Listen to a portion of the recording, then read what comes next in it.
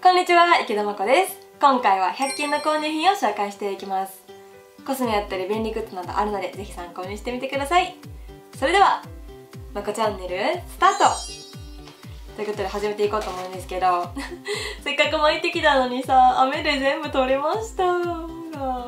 微妙な巻きや。はいということで1個目紹介していきます。こちら。ダイソーのスリムリップスティックのサーモンピンクです。これはね確か結構前から発売されてるリップなのかなと思うんですけど結構口コミがいいみたいでなのでねちょっと気になってどんな感じかなと思って買ってみました。はい中はこちらです。なんかパッケージもおしゃれで可愛いバラのバラの模様が書いてます。手に出すとこちら。お結構発色いい。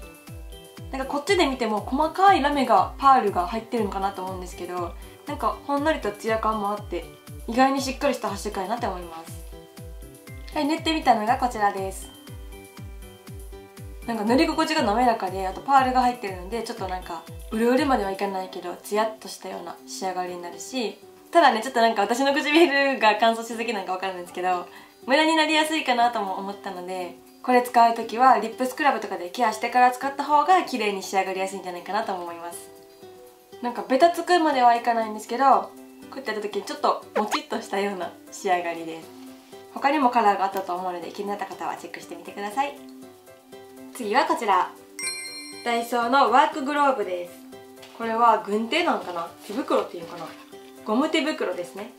こちら側がゴムになっていて反対側が生地。なんていう素材なんやろ。ポリエステルですね。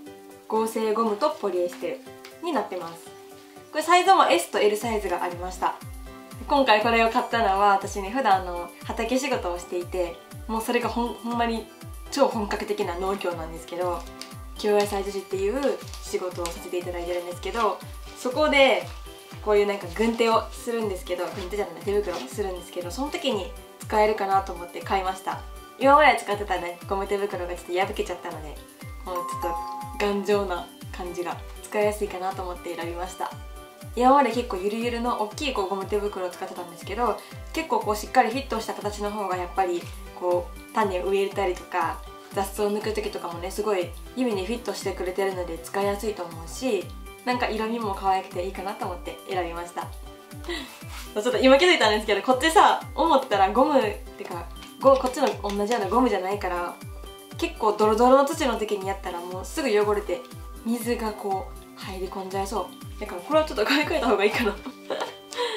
まあね晴れの日土がサラサラ系の時とか結構幸運期とか使う時はこっちの方でもいいかも。そうやな。そういえば確かにこっち普通に水通しちゃうから作業によって使い分けようかなと思います。次はこちらです。張り替え用シール。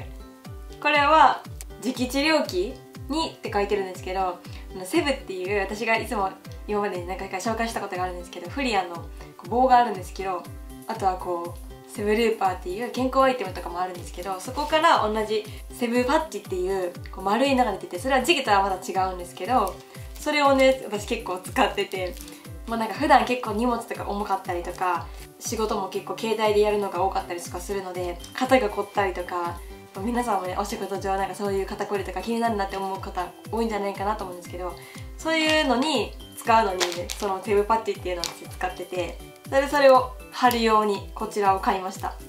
で後ろに説明が書いてあるんですけどシールを貼る時にこの真ん中の部分だけねちっちゃくシールを剥がせるようになっているのでなので先にこのまん丸の部分を外してそのセブパッチっていうパッチを貼ってそれからこちら側向けてこうやって剥がすともうシールがついた状態で剥がれるので後から貼りやすかったりもするし大きさもねそれぞれいろいろあったんですけどこちら 4mm 用で36枚入りなので結構使えるなと思って買いました。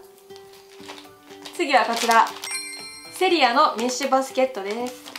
これは今すごいコンパクトなんですけどこんな風に広げられるようになってます。色もね何色かあったと思うんですけど白にしました。シンプルちょっと一回広げてみようかな。直せるかな広げて。あーめっちゃコンパクト。ほう。おおいけそう危ねえ。クリスト。危ねえ。危ないカメラ倒れんけてよかった。めっちゃ開きました。すごっ。ほらあ結構ちょうどいい大きさかも。メッシュバスケットです。これ下立たせるようにもなってます。ここ全部ワイヤーっていうか針金みたいなのが入ってますね。へえ面白はいこれはちょっとなんか洗濯物とかさパパって入れとく入れとくのにいいかなと思って買いました。シンプルやし。初めてなんかこういうの買ってみたんですけどなんかコンパクトにもできるし使わへん時とか邪魔にならなくていいかなと思います。でねさっきね ここ見たら書いてたんですけど顔や体から離して広げてくださいっていうことだったのでね。皆さんは開ける時は気をつけてください。ボーンって跳ねるんで。次はこちら。セリアのウォールステッカーグリーン柄です。柄はこちら。セリアのウォールステッカーはね結構何回か買ってるんですけどこの柄をね見つけて初めて買ってみました。なんか可愛いなと思って。自然な。お花とかグリーンとかなんか好きで今まで結構お花のやつとか買ってたんですけどちょっと今回グリーンも買ってみました。ウォールステッカーはもう本当に壁にピッて好きなところに貼るだけやしその貼った後剥がしたい時もねすぐにピロって剥がせるのでこれはもうめっちゃ便利やと思います、まあ、壁以外にもなんかタンスとかに貼ったりとかしても可愛いと思うし手軽にねお部屋おしゃれにできるので他にも種類とか形もいろいろあったし気になる方は探しに行ってみてください。最後はこちら。キャンドゥのエリップスヘアトリートメントです。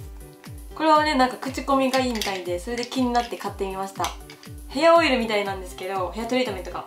6個入りになっててこれ多分1回分なんですけどこういうのなんか遠征行った時とかにいいかなと思って買いました。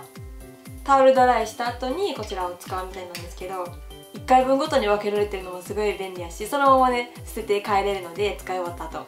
なのでコンパクトやし持ち運びにも便利やしちょっと気になって買ってみました。これで今回の購入品は以上になります。いかがだったでしょうか？今回は100均の購入品を紹介しました。気になるアイテムがあればぜひチェックしてみてください。逆に皆さんのおすすめのアイテムもあればコメントで教えていただけると嬉しいです。そしてマクチャンネルは毎日20時にアップしています。チャンネル登録とグッドボタンもよろしくお願いします。毎週土曜夜10時はライブ配信もしてるのでまた遊びに来てください。では池田真子でした。バイバイ。